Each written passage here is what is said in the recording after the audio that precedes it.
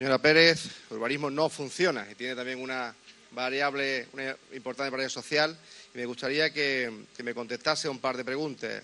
Eh, la primera es eh, sobre la clase Global GIF. ¿Es verdad que es necesaria una modificación puntual de elementos o una innovación para que las cinco asociaciones que van a beneficiarse de ese proyecto puedan entrar en esa casa? Otra pregunta también sobre un tema social que a todos nos preocupa, como la residencia. ¿Se ha realizado alguna gestión para garantizar que se pueda realizar la, residencia en el Trapiche del Prado? Y la, tercera es si se ha impulsado alguna modificación puntual de elementos de innovación para que la Junta de Andalucía haga directamente una residencia de mayores en Marbella. Hola, eh, señora Pérez, yo tengo una pregunta para usted. El 18 de enero de este año, después de que se anulara el plan general, el señor Bernal anuncia a bombo y platillo la construcción de, una nueva piscina en el término municipal. A la vista está que después de año, y medio pues no hay piscina ni, instalaciones deportivas nuevas.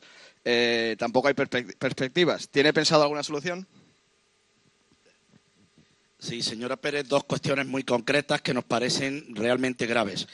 La primera es preguntarle si en este eh, grupo eh, de trabajadores que entraron para eh, agilizar un poco las tareas de urbanismo, concretamente se dijo por parte del alcalde que iban a proceder del paro y al menos que sepamos hay un funcionario que creo que también es policía mm, local. Nos gustaría que nos dijera si eso es así o no y, lógicamente, que nos contestara lo que le preguntamos.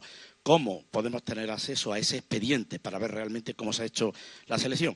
Y la segunda pregunta es concretamente si le van a dar respuesta al sindicato SESIF que le planteó concretamente una serie de alegaciones con relación a la última modificación, reestructuración, que, que, que consten hasta que ustedes la han llevado a cabo sin la perceptiva modificación de la relación de puestos de trabajo, sin informar a los sindicatos previamente, la ley del Estatuto Básico lo eh, dictamina y ustedes se han pasado ese trámite. Por consiguiente, no se trata de una redistribución, una reasignación. Han hecho ustedes esa reestructuración con nombre y apellido.